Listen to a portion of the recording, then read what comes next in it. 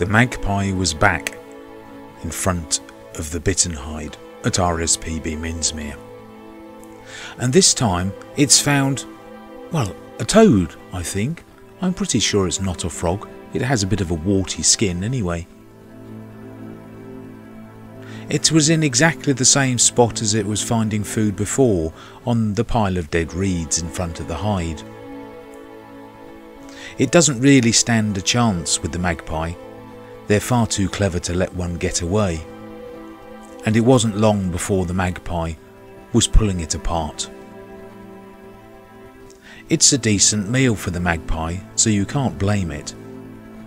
Indeed, there's too much really there for one meal, so it wasn't really surprising when after a while it took it away, back to those piles of reeds, and it buried it again. It's clearly a regular cache for the magpie, somewhere it can safely store any excess food, somewhere it can come back to another day.